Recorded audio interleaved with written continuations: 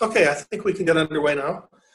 Greetings, everyone. I'm Vince Stehle, Executive Director of Media Impact Funders, and I want to welcome you to our monthly Journalism Funders webinar today on supporting DEI efforts in journalism.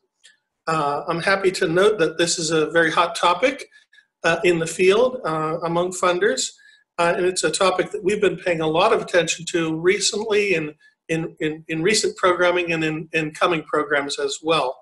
Um, in addition to today's webinar, uh, we recently hosted the launch of the Borealis Racial Equity Fund for Journalism um, in uh, New Orleans at the Online News Association conference, and Farai was with us, Farai Chideya was with us uh, for that uh, very exciting event. Um, and we published a, a report on, on that on our website as well, which will be uh, available on the link on the chat function there. Um, we're also going to be having a very robust track of programming around DEI efforts at our annual Journalism Funders gathering in San Francisco next week. Um, and so stay tuned. Uh, if anyone's not going to be there, stay tuned for uh, more information coming out of that meeting as well. But today's uh, for today's program and discussion, we're very fortunate to have with us Lauren Pabst, who is Senior Program Officer for the MacArthur Foundation in Journalism and Media, to lead us in our discussion uh, today. And MacArthur has been really a leader in supporting diverse expression for many years, and Lauren's been on the forefront of that work at MacArthur. I'll just note for logistical purposes that we encourage participants to offer questions and there's a, a button on the top left of your screen where you can uh, uh, offer a question. We'll monitor it, that throughout the discussion today and um, make sure to take care of all questions. So thank you, Lauren. Take it away from here. All right, thank you so much, Vince. Um, I'm really, really glad to be able to moderate this conversation. Um, and, you know, as, as mentioned uh, at MacArthur, uh, strategies for supporting diversity, equity, and inclusion have uh, increasingly become a key part of our work. And I know that, that many of you that have joined on the webinar today as well are also uh, deep within thinking about how to apply um, that in the work that you do as well. So I do also just want to acknowledge that we're in a really incredible and exciting time of abundance in terms of new voices uh, in philanthropy, new placing of value, uh, new ideas and new initiatives to support journalism that centers the critical perspectives and civic needs of communities of color.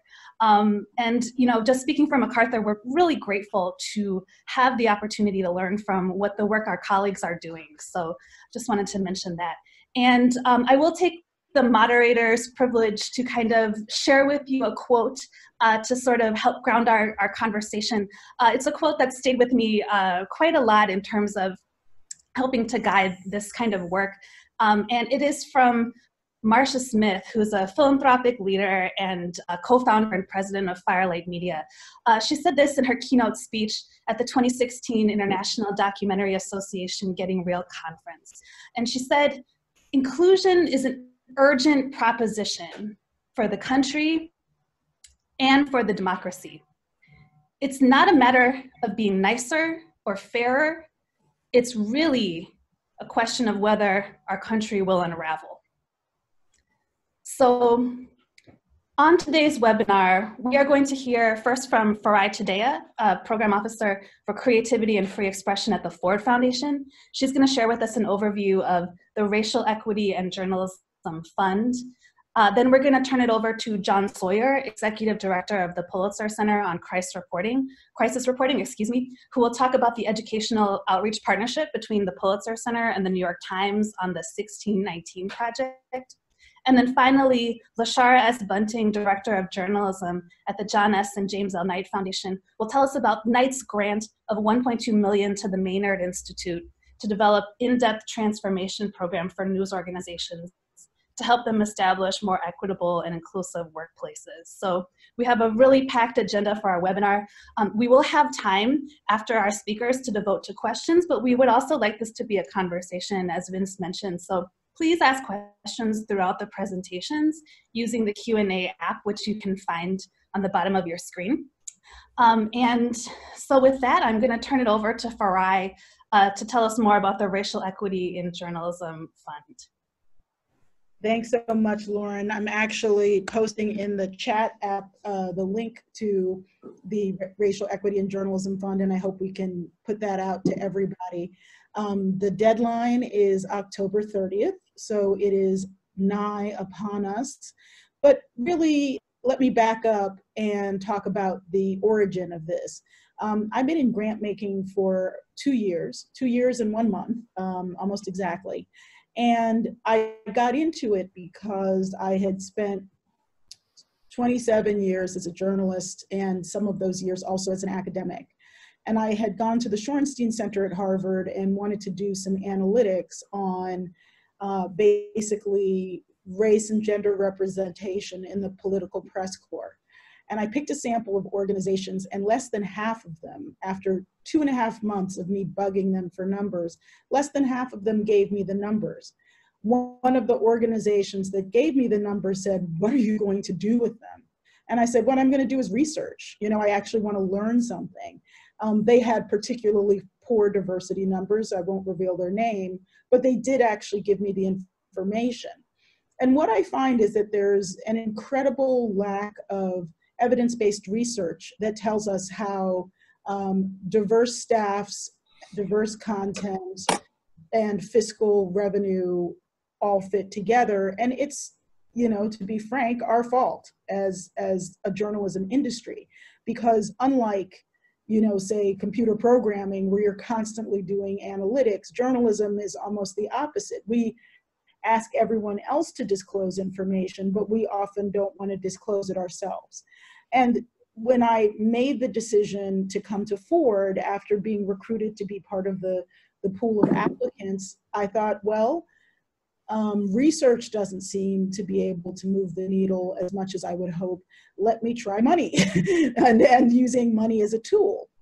Um, and then once I got to philanthropy, I discovered it wasn't as simple as just being able to give away money. It was being able to really analyze what it meant to be a grant maker and to make good investments. And I love the way you started, Lauren, by talking about how critical um, having a diversity, equity, and inclusion lens is to democracy, civil society, and you know, I would argue, although it might sound like hyperbole, the survival of the human race. You know, we are at a point now where we have um, some existential crises. You can see what's going on in Chile. You can see the rise of authoritarian governance across the world. And journalism is a field that can help um, enlighten and um, and provide us with potential solutions to some of the crises of civil society.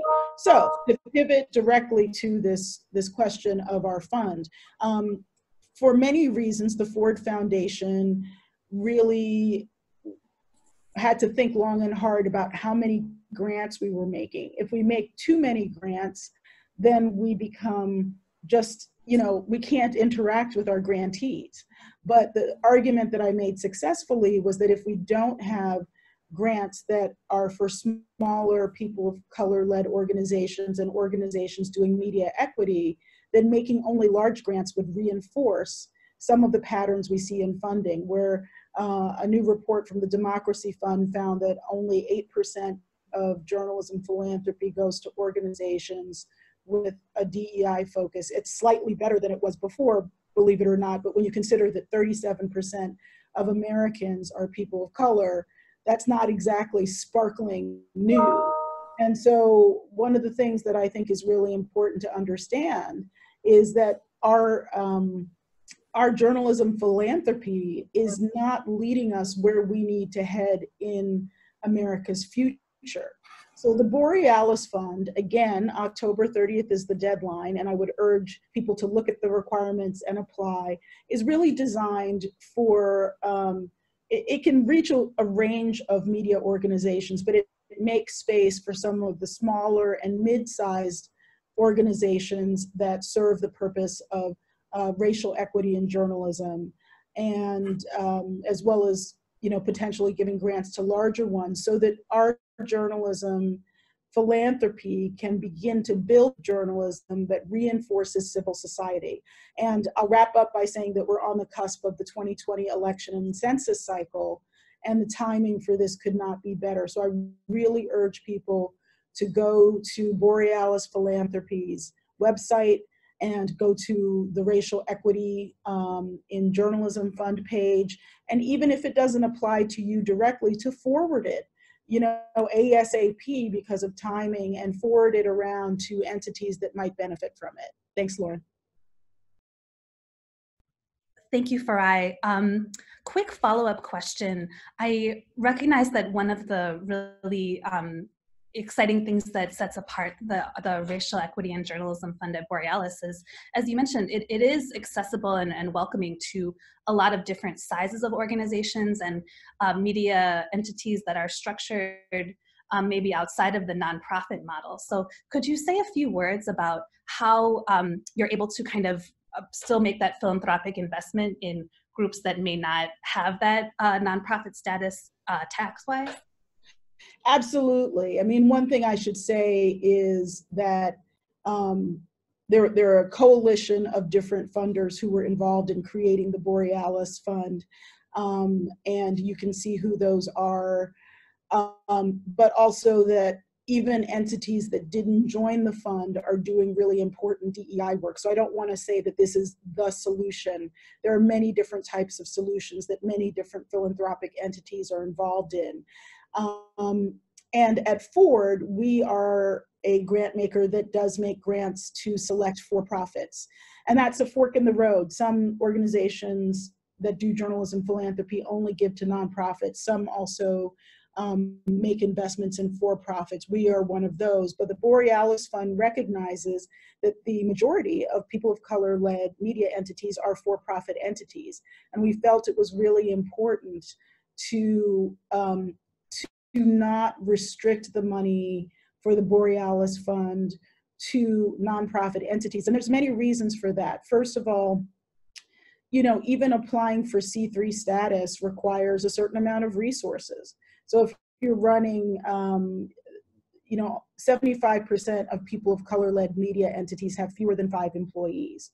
They are mom and pop shops, but they can be very high quality. You look at MLK 50, which is um, a Memphis based organization that really has one employee plus some freelancers. And they were created um, to do a commemoration of the 50th anniversary of the assassination of Martin Luther King Jr., but then realized that the depth of need in the Memphis community for news centered around African Americans was high. And, you know, um, so the, there are many smaller entities, including many for-profits, that really, uh, you know, find the process of becoming C3s arduous, or they just also want to have a piece of the pie. Like if someone can get stock ownership in the New York Times and own the New York Times, you know, in that case, many different, um, there are many different shareholders.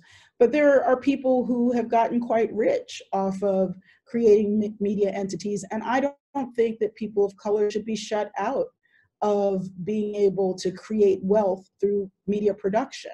Um, of course, it's pretty hard to create wealth through media production, but if anyone is going to be able to do it, everyone should be able to do it.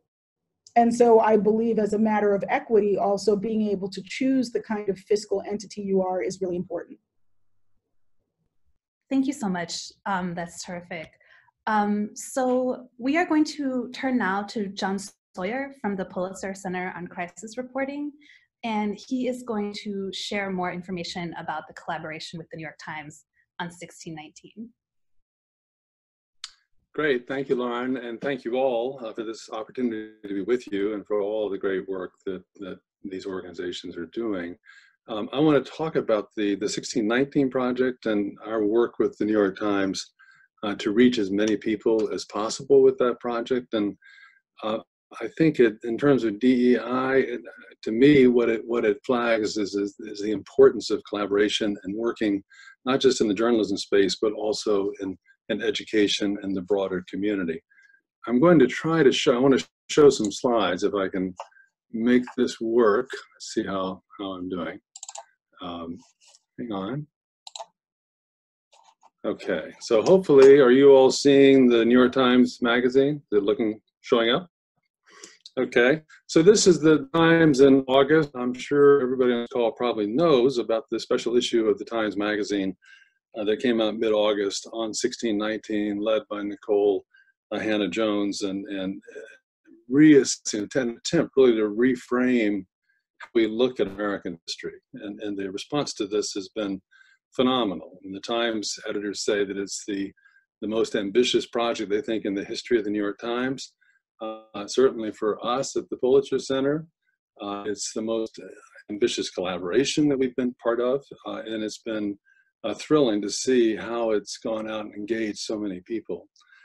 Part of the, the reason it's worked so well is that the, the Times came at it from so many directions. So the, the, the same Sunday that they had the magazine, they had a special section for uh, 1619 in education, uh, part of it directed to younger readers and intended for uh, use in classrooms. They also uh, had Nikole do a five, six part uh, podcast series that, that just finished up, I think, last week or this past week, and I believe is the most listened to podcast uh, in the country in the last two months, uh, which is sensational. At the same time, they produced a, uh, an issue, a section, an issue of the, the weekly, the, the Times new television program on FX and Hulu that, that went up this weekend, uh, focused on the desegregation of New York schools, but again, with, uh, with Nikole and her colleagues working on, on 1619.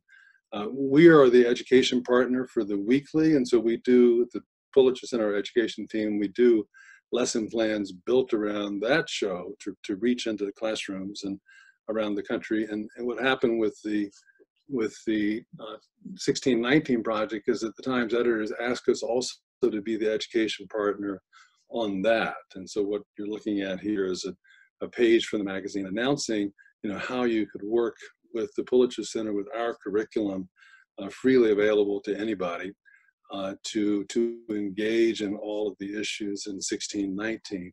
So we put that, we put that out, we had it on the website, we started, uh, we built the curriculum around it. Um, we have a network of several hundred uh, middle schools and high schools and three dozen uh, universities, community colleges, HBCUs around the country. So we were actively pushing it with all of them, but thanks to the fact that we had the platform of the New York Times, uh, we were reaching so many more schools that had never encountered the Pulitzer Center or our educational work. And so we had a chance to uh, bring in many, many schools that we had never, classrooms that we had never engaged with. And so by the end of the first month, this was a map that sort of shows the 167 schools. What the Times said to us was that they would make available to us as many free copies of the magazine and the special section as we could get schools and teachers to commit to using the curriculum. So in the first four or five weeks, we got 167 schools around the country uh, to do that. And, and but this map is now outdated. You'll see this is our conference room, which for several weeks was really turned into a shipping, trans shipping center because the Times was shipping us um, copies as we had requests from schools, and then we were reshipping it out to the to the school partners. So that as of this week, we're now up to nearly 600 schools uh, around the country that are that are actively using the, the curriculum. And then the bigger thing that happened was that we got the commitment from the the school districts, the whole school districts in Chicago, Washington, Buffalo, and Winston-Salem, North Carolina, and they said if you give us, you know, 100 copies per high school, in the case of Washington high schools and middle schools both, we will commit to using the, the curriculum in every high school. And so we shipped, I think it's over, I think 12,000 copies to Chicago, about the same number to Washington, five or 6,000 each to Buffalo and North Carolina. And so that, that what we're, where we're at now is that we're trying to take that, we're, we're raising money with the Times, trying to get a sponsor to do reprint, another reprint of several hundred thousand copies, uh, together with printing the, the curriculum, and then try to engage you know, Los Angeles, Houston, Miami, other cities, some where we've worked before, some not, uh, to get all of them engaged in using this in the second semester. But as an example, this is Chicago. The out we were with Nikole in Chicago two weeks ago, and she was at the Whitney Young Magnet School. The the one I just showed. This is all of the kids in the in the in the world history class with their with their copies, and just the power of having physical copies is amazing. That they're they're all engaged in it. They spent a month before we went to the school uh, working on the curriculum, and then the with the students and Nikole and Jake Silverstein, the editor of the Times Magazine, you know, had a an, an entire school engagement with the with the uh, with the issue of 1619. What's showing on the screen is, is one of the poems that was presented uh, at that session. There were four or five students who did that. And then we had Janice Jackson, the CEO of the Chicago Public School Systems, with us for the event. And, and she told the students there, told us that this was the, the most important initiative in her four decades in education. Uh, we had Nikole the night before at the University of Chicago Institute of Politics, another partner school of the Pulitzer Center. And then the same day after the Whitney Young event, we were at the School of the Art Institute of Chicago, another partner, uh, with a focus there on mass incarceration and the work that we've been doing with the Art for Justice Fund. And so we had some of our activists and our own journalists on a panel with Nikole uh, sharing this work. The next day we went to North Carolina, which is, this is my home state and, in Winston-Salem, my home city. And, and uh, Nikole spoke to a thousand people, uh, about half black, half white, at Winston-Salem State University. And then earlier that day, uh, she and I presented at Reynolds High School, which is now a magnet school of the arts and one of our partners. And uh, very special to me because it's also the high school I went to. And the, in the bottom picture here, the, the older man about my age uh, asking the question is Harold Kennedy, who's a local attorney. He integrated my fourth grade class in my elementary school in 1961. We went to high school together. And so, and then we sort of talked with Nikole about the desegregation and resegregation of the schools in, in North Carolina. What we do in, in North Carolina and Chicago both um, taught, we have an initiative called News Arts, which is an exploration of, of the intersection of journalism and art, trying to use art to engage with journalism or use art in the production of journalism.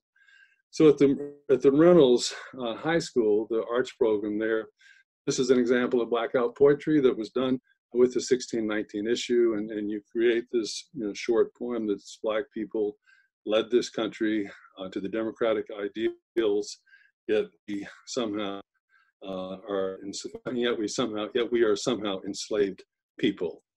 And then lastly, uh, this is also from the Reynolds High School art students. This is a response uh, to 1619, the Statue of Liberty in chains. And it has been, you know, what we're doing now is with the times, we are gathering the work from these student work from these hundreds of schools. We hope that we will do a special issue uh, in early February, the beginning of Black History Month in the Times, that will feature the best of that student work. We hope by then we'll know that we have the reprints available for a second mass round of, of distribution and that will be encouraging as part of that issue that many more schools around the country do this. So it's a, it's to me, it's kind of networks within networks. It's our network of, of journalists and, and news outlet partners, but also all of the, the partners that we have in schools and uh, universities, community colleges that, that help us um, you know, really achieve the kind of engagement we all seek on these issues. So it's been a great, great project. Thank you, Jon. Um, not only an opportunity on the part of the this project to reframe, uh, you know, American history the way we think of journalism and the function it, it plays in society, and also an incredible uh, opportunity for the educational fields uh, as we've heard. So um, I have a quick question. I just wanted to remind all of our participants to ask a question at any time using the Q&A app at the bottom of your screen. But um, for now, I was wondering, Jon, um, being in, in, in journalism organization um, that has this uh, robust uh, uh, capability and capacity to create these educational materials. Uh, can you share with us some more about what went into the crafting of the 1619 project curriculum. We have uh, impacts on history and sociology, education, arts, uh, so, so many cross-discipline and cross-subject implications. So uh, could you share with us how you, you know, who, who was there at the table crafting this curriculum? Well, we are, as you say, Lauren, we are a hybrid journalism education organization. So we, we've got five or six people on staff who do nothing but education, and they're they're former teachers themselves, and they've had a lot of experience working with our network of middle school and secondary schools and some on the college level. And then we had people like Anne Michelle Boyle, who was the the, the teacher at, the Whitney Young High School, who's been working with us for seven years. She is a fantastic teacher. She worked with us on the Times projects on climate change last year in the Middle East several years ago. So she wrote some of the curriculum. Our team wrote some of the curriculum. Some of it was as basic as kind of a you know framing questions. You know what when did you first learn about slavery? How were you taught about slavery? And that's a really interesting discussion. Right away, you see that is radically different depending on where you grew up and and what kind of classroom you were in.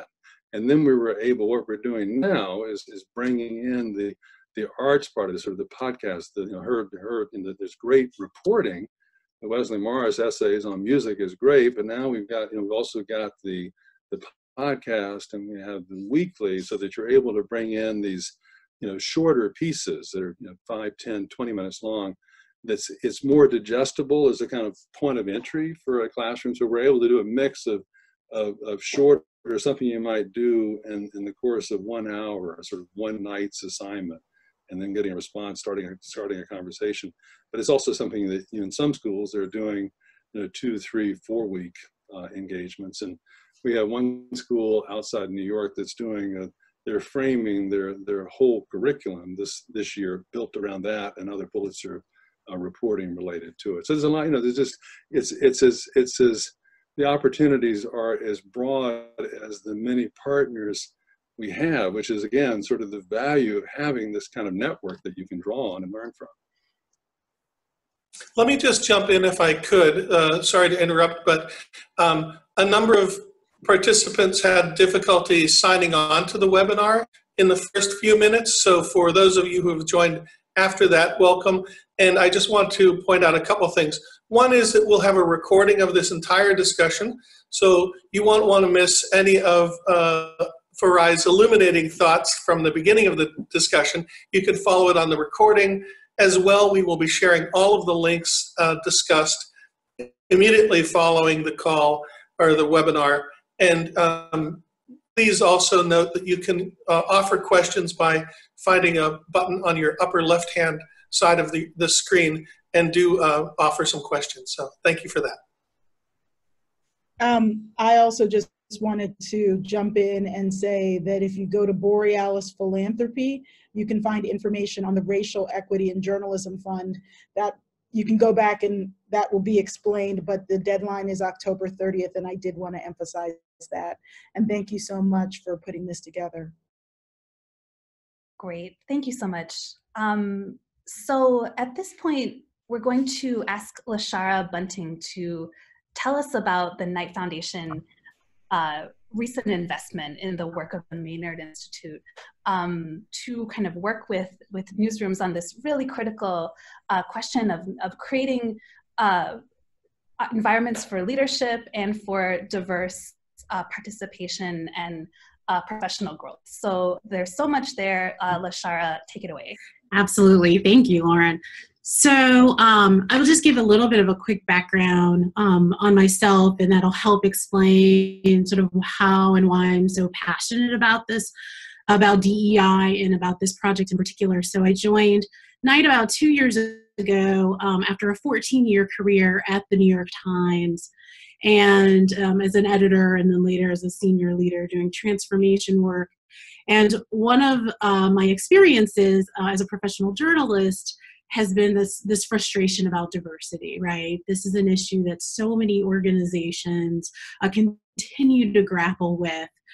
And there are different approaches that you know uh, philanthropy journalism organizations have taken to try to get at this issue. Um, and so so I, i'm in this role at Knight i'm very passionate about uh, how can we invest in projects and initiatives uh, that um, you know that support this. And that's why I'm very excited about the Borealis um, fund as well, uh, because I think that's that's again kudos to all my my colleagues on that in particular. Um, for the Maynard grant, um, it was a 1.2 million dollar um, uh, essentially one and a half year uh, grant. And what that covered was is the uh, the the transformation embed, which is what I'll talk about. It also gives a little bit of money to them for a capacity support as well. And so when Maynard reached out to me a year ago, um, you know, we were talking or having a grantee meeting, and I was like, "What are you working on? I really want to give you, you know, give give some money and support to Maynard, but I want to hear what you're working on." And um, Martin Reynolds, one of the co-executive directors, one of the last things he mentioned was, you know, I have this idea for going into newsrooms and um, and really embedding in uh, in the newsrooms to help them with this issue of diversity equity inclusion you know what, what's what does your content look like? What are the hr practices in your newsroom? Um, you know what's your commu- what's your uh, relationship with the community? Um, what are the the numbers are saying that people are leaving? Why are they leaving? You're not able to attract as many people. Why is that? I don't know if anyone's familiar with maynard's um, history. They have a very long history. They've been around about 40 years. And they will often go into newsrooms and do trainings. And so maybe they're there for a few days or a week. Um, and so they've had this really desire to go deep. And it's been, you know, six months, nine months, a year in news organizations and really helping them um, from the inside out. And so, what I love about this project in particular is that, let me step back a little bit. For a lot of philanthropy, when we support DEI, it's pipeline programs. It's leadership development. It's for those people of color right who are in the industry. And those are all very important. You know we we should continue to invest in that. But when we think about the problems uh, of diversity and the lack of equity and inclusion in newsrooms you know i keep coming back to this issue of you know there's not enough money in the world to, to fix the systemic you know racism and the institutional racism and the bias you know that exists in these news organizations. And so essentially we're sort of funding around the institutional racism. What can we do to try to chip away at the big problem right? And so this grant in particular this program in particular takes the onus off of the people of color to solve this issue right? Um, sort of sort of sort of knocks those like we have an issue in our news organization. Let's create a diversity committee and and you know and that sort of well-worn path. Um, this is an attempt to to really scratch that. And so the, taking the onus away from the people of color right they're victims of the system to fix it themselves and puts it on the institutions and requires them to have responsibility um, as it should be uh, for fixing, um, you know, the, the, the bad cultures that exist, the unwelcome uh, cultures that exist. So, um, you know, we hope that this is a pilot program with the grant. It's two uh, news organizations that, that we're going to test with. Maynard will put out an RFP um, to, to, to find the right news organizations that, that feel ready for this sometime this fall.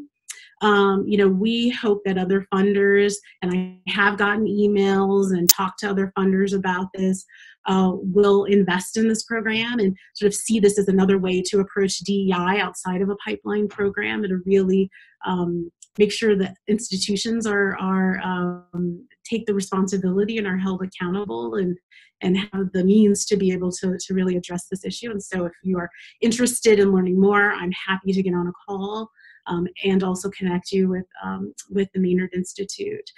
And eventually, in terms of sustainability, you know, their goal is for this to become, um, you know, a standalone business for them. And so uh, this could, you know, with the support, um, you know, of some philanthropy to get it started and launched, uh, you know, this could eventually become a consultancy uh, business for them. And so they see this as a something that will be sustainable down the line. Thank you so much. Um, quick question on, and I know that the RFP from Maynard is forthcoming in terms of seeking uh, interested newsrooms. Um, but can you share a little bit with us from Knight's perspective about what would make a newsroom kind of a prime candidate for this mm-hmm. kind of uh, really exciting and intensive intervention. Right. I think, you know, it again, this is Maynard's um, uh, decision for sure. But in terms of, you know, the, the conversations that we've had as the grant was being developed, I mean, really it comes down to willingness, right? And leadership. Are they all on board? This is really hard work. I mean, let's just be clear. This is this requires um, leaders and news organizations to sort of lay bare um, you know the the dirty laundry you know but but i believe you can't fix a problem unless you admit to it. And so i, I think the first and primary um, you know sort of indicator of whether an organization is ready is if they're willing to do the hard work um, and you know, we certainly have had a number of news organizations reach out to us, at raising their hand and saying that they want want to do it. I think you know you don't have to be a perfect news organization, right, to come in and have all the have all the answers already. We know no one does, but um, but I think it's just that sort of willingness um, to change is is what's going to be key. Thank you. Um, so we've reached the point where we can officially open it up to questions from our participants on the webinar. I don't believe you'll be able to tell them to us verbally, but um, please use the Q&A app. Um, and I also wanted to invite our panelists, if you have questions of one another, um, to please feel free to pose those also.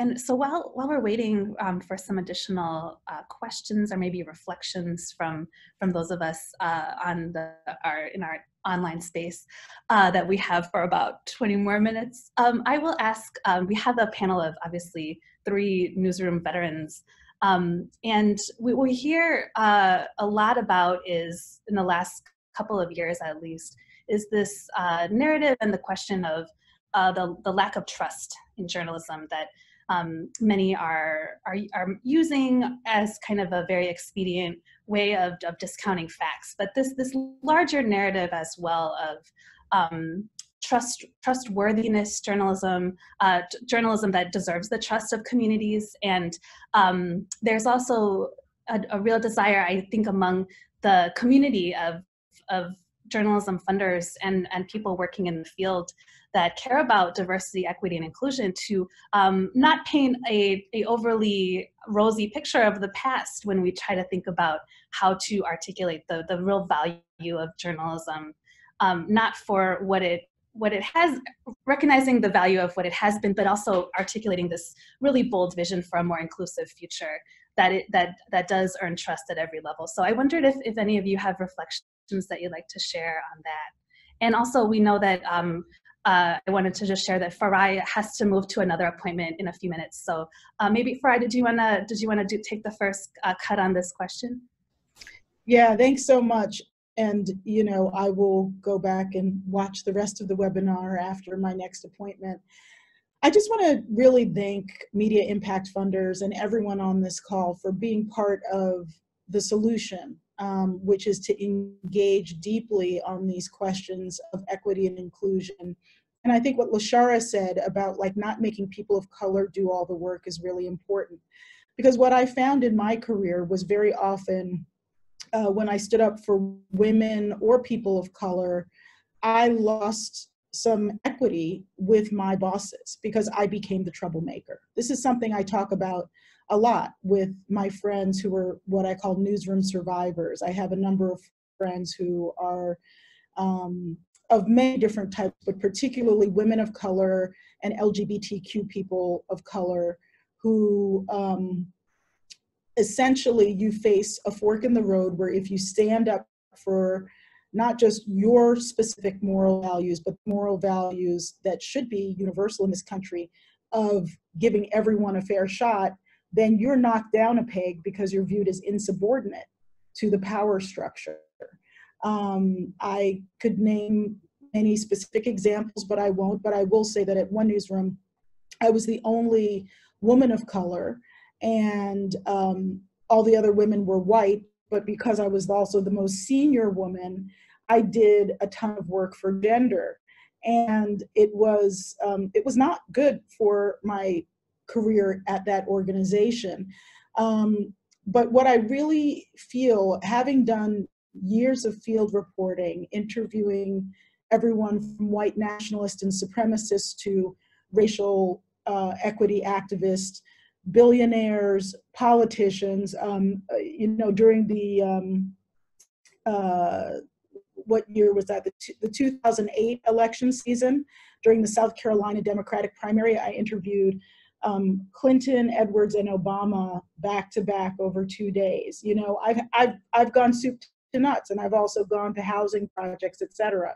And I think that that breadth of being able and willing to engage with both powerful people and what are considered powerless people is critical because power is not equitably distributed, but the reality is everyone does have power. Everyone shapes this nation. And very often, what happens is that it's presumed that women and people of color, or people who are outside of um, a heteronormative white male framework, are supposed to do all the work of talking to the people who are presumed to be powerless. First of all, they're not powerless.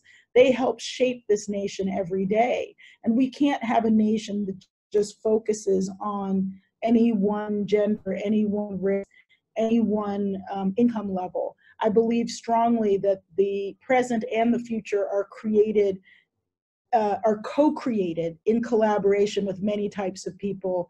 And so that's one reason why having racial equity is so important. Thank you so much, Farai.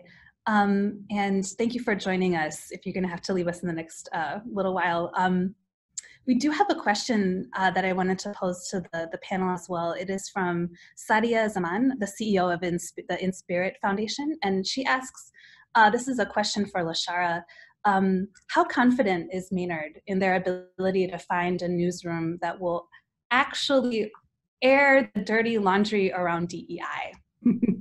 that is a very, very good question. Um, uh, they're they're they're very confident. I am very confident. I between the um, I'm only getting a fraction of the emails that they're getting from executive editors and, and managing editors about wanting desperately want and desperately wanting to be a part um, of this um, of this initiative. I think it's understanding that it's not the sort of airing the dirty laundry to the industry, right? It's sort of let's air it for ourselves uh, in in in in support of this goal of becoming a more equitable um, you know more open uh, newsroom which is not something that that that um, that happens. But i will tell you i love to tell this funny story of um, i actually had someone text me very late in the evening um, about this in particular like how can i get a part of the how can i become a part of this um, so there's definitely uh, a desire and i think because we're at a crisis moment and let's be clear we are at a crisis moment when it comes to diversity um, in journalism uh, very, let me repeat that. We are at a crisis moment when it comes to diversity in journalism. And so I think everyone who understands that um, is is willing to take these steps. Lauren, I have a question, if I may. Yes, please. One of the one of the functions of a media impact funders is to introduce these ideas from the experts and from the actors to everyone else who's in philanthropy. Um, what's an easy way to get in? Obviously, pooled funds are one obvious answer, but um, for for somebody who's trying to get in here, uh, how can we make it easier for them? That's for anyone. Well, I'll just say very quickly, because I'm I am going to have to sign off now, that you know this is this is a very circular but unplanned that people should plug into your work at Media Impact Funders, um, and should also plug into uh, funds like Borealis. But but what you do at Media Impact Funders really is a strong line of education and information and i've learned a lot from you since i haven't been in philanthropy for a long time i believe in learning from many different sources you know um, i've learned from everyone who is on this webinar and um, it takes research and so partly um, just the way that I did as a journalist, put aside time, like literally block out an hour in your calendar to do some research on the topics that matter. Um, with that, I'm going to sign off, but I want to give great thanks everyone. Well, let me thank you for that uh, unplanned advertisement, but also just to reflect, um, you know, in the Mutual Admiration Society we have with Farai, we can only reflect to our members what everyone else shares with us too. So don't assume you on the, um, among presenters or anyone who's attending this webinar, don't assume that we know the good work that's happening in your neighborhood. Please share back to us so that we can share it with the community as a network. So thanks for that. So I could jump in here for, if I could. Um, the in that spirit, Vince, I wanted to share one other initiative that I put it on the chat, the Bringing Stories Home initiative that we started uh, earlier this year, and it speaks to this the questions of both Lauren's questions about how do you, how do you restore trust in media, and also how do you how do you actually recruit newsrooms uh, to address not only DEI issues but but truly engaging with their communities and bringing stories home. And there's a link to it in the chat space here. Uh, we said we would make funds available uh, to uh, for big enterprise projects with outlets serving markets outside the major national media markets.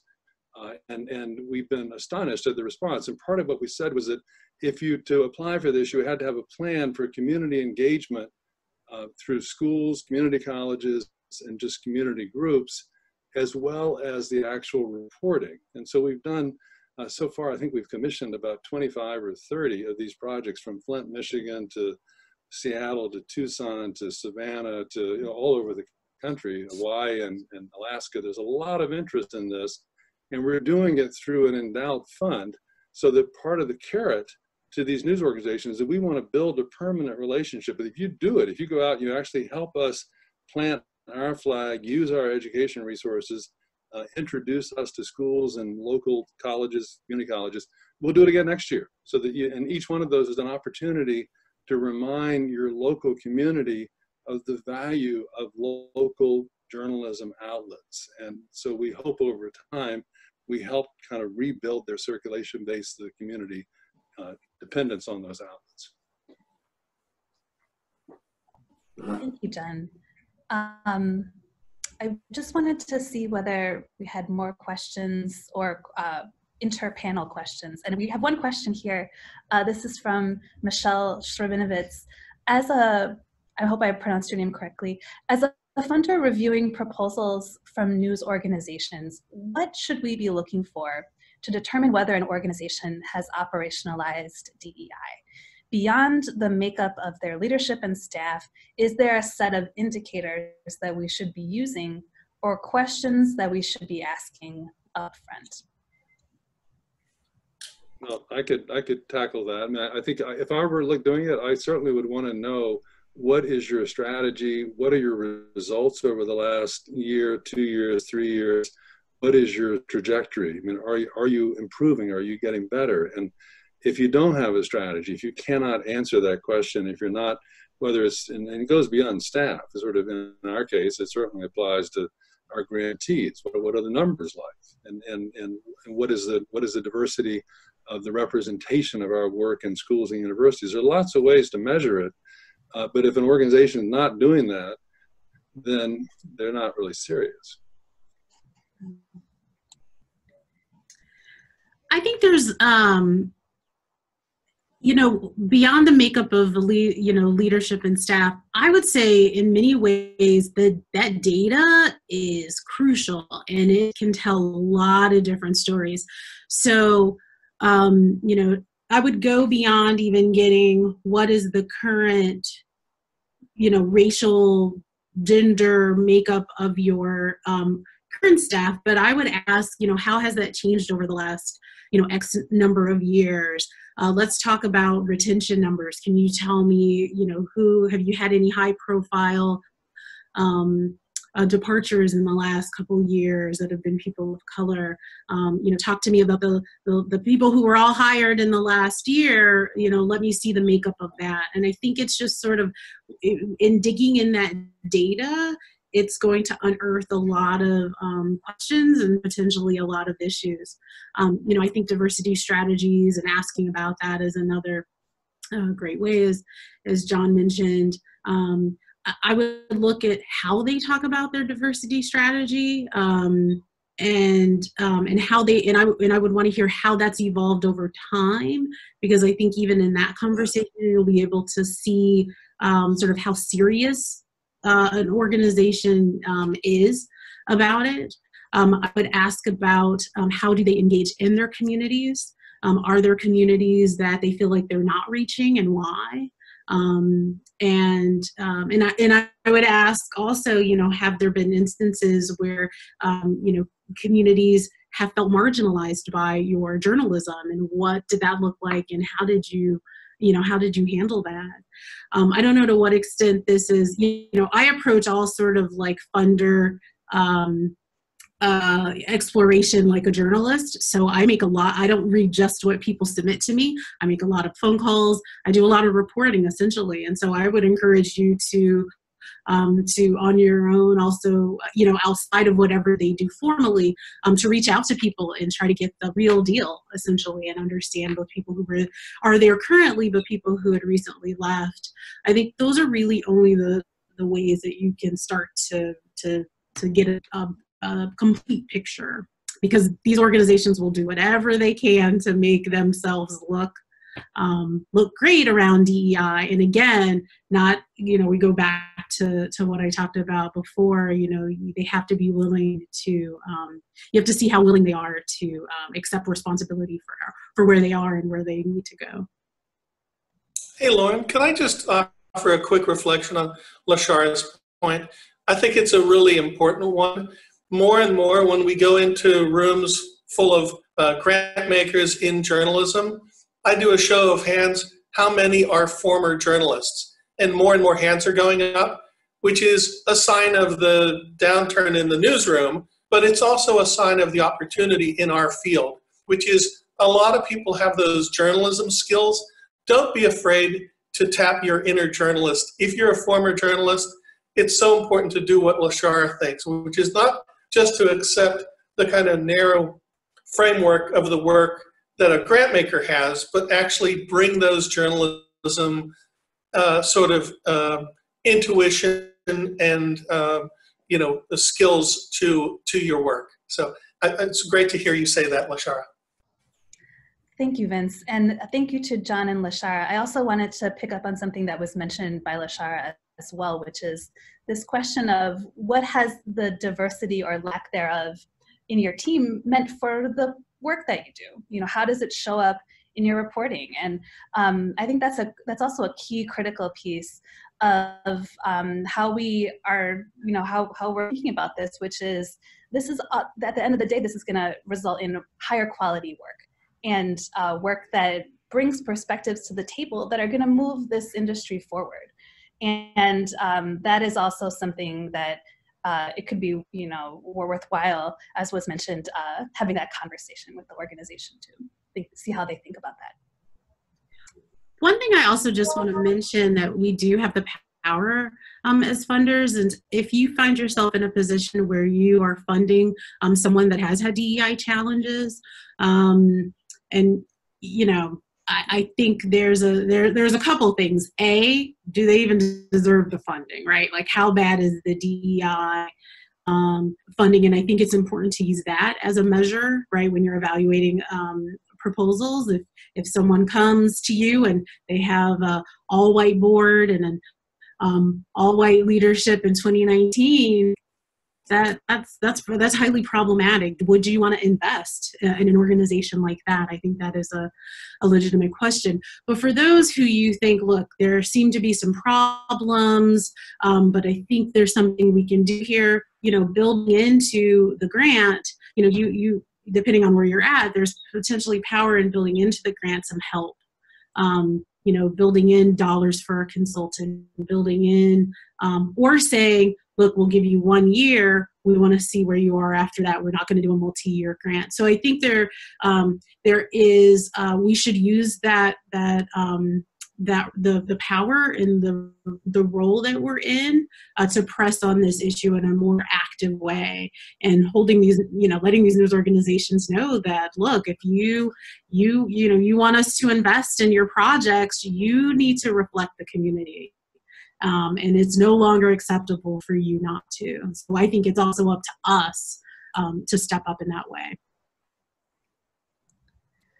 Thank you. Um, I also wanted to mention something, uh, which is, uh, you know, the Democracy Fund report was mentioned earlier. That's a great resource. There's also a framework that is, I believe, being uh, released by uh, Frontline Solutions uh, in terms of how to think about DEI journalism funding. Um, and I believe that will be made available to this group too.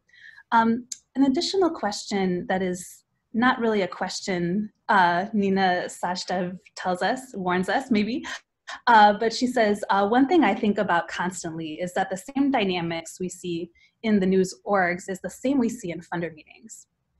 DEI workshops where the white people are scarce, etc. Panels about gender equity where the men are absent. How do we address the fact that philanthropy needs to walk the talk internally as well?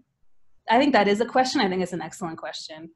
Um, so who has thoughts on this? Um, I think, you know, I'll, i guess I'll start um, very briefly and just mention, I think this is a critical point. And um, I think one of the things we can do as funders is um, be as transparent as we can about the DEI journey that our own organizations are on.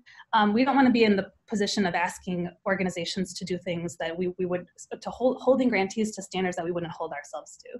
And I know that there's um, a lot of complicated dynamics at play in all of the institutions that we represent, but um, I think, you know, this is going to be I just really appreciate the question. I think it's something I'm looking forward to talking about at the upcoming Media Impact Funders Journalism Funders meeting and beyond. Any other comments? I just really, I could not agree more. Um, you know, jumping from uh, journalism to philanthropy has been very, very eye-opening and, and interesting. And it is, um, it is very true to see uh, many of the same problems that existed there um, exist here. Um, you know, I've I've had situations where uh, you know it's it's you just see i've seen other funders treat me differently um, until they realize like oh she's from Knight or oh she worked at the new york times or oh you know so it's it's it's very you know i think the the sort of same sort of unconscious bias um, you know that we um, issues that we see are very much alive and well in philanthropy. And i, I think there's an opportunity um, you know with media impact funders and um, webinars like this are certainly good. I think we always come come in, into that issue of the people who need to hear it aren't necessarily the people who are in the room. Um, so i think there's a lot more work to do there if i could also just offer uh, a point that, that it is a delicate point to to grapple with. Um, you know, for Jon and me um, to be on this call, grappling with these issues, we I think both share that it it really is important for us to be having this conversation with everyone else. Um, but there is also, I think, some tendency to say like, why are we hearing from the white guys on a topic like this? So that's out there and I think we have to have a little bit of a thick skin on, on, on that. But also, I think as a group, we have to say it really is important for all of us to be in the conversation and to hopefully um, encourage people to uh, recognize the need for more inclusive power structures, but also equally in, in, in response, inclusive of the, of the um, of the legacy voices too, so that we can actually come to a, a more equitable distribution of that power. Anyway, uh, it's I, I, know that sometimes people look at a panel and say like, why are we listening to, the, to that guy? We have to have balance in all of these things, of course, but it can come up that way. I think that the trick is to be thick-skinned, as Vince says, but also to be, can you be thick-skinned and listening at the same time? And that's really Absolutely. Important. absolutely. And the point that uh, Nina's question includes as well, which is this is really all of our responsibility. Um, so I think we welcome people from different, all different backgrounds in terms of contributing to the work moving forward. So I know we're at the top of the hour, so I'm going to turn it back over to Vince to close us. Yeah. Well, thank you, Lauren, for moderating a great discussion, and LaSharah and Jon for contributing, um, uh, and in her absence. But um, we're going to be paying attention to this issue uh, and, and really working on it hard next week together uh, for all the journalism funders that are going to be with us in San Francisco and in, in the coming months. We're not going to have a webinar in November. Um, we've got so many public programs going on that we're not, not going to try and do that with the Thanksgiving holiday and everything else. But stay tuned for information about December's webinar. We'll be sharing that with all of you um, very shortly as well. And so thanks everyone uh, and have a great day.